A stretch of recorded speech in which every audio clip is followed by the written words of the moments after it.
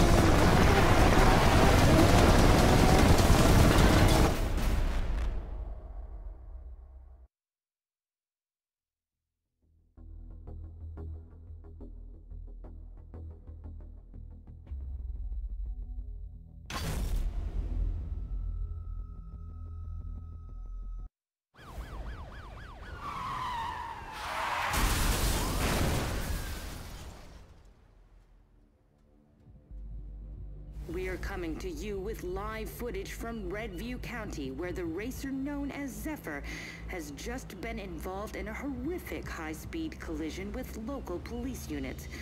Paramedics are making their way to the crash site as we speak, but from this vantage point, it's hard to picture anyone surviving a wreck like that. I am the reality show. The 15 minutes you'll never have. They say speed kills. But if you aren't speeding, then you aren't living.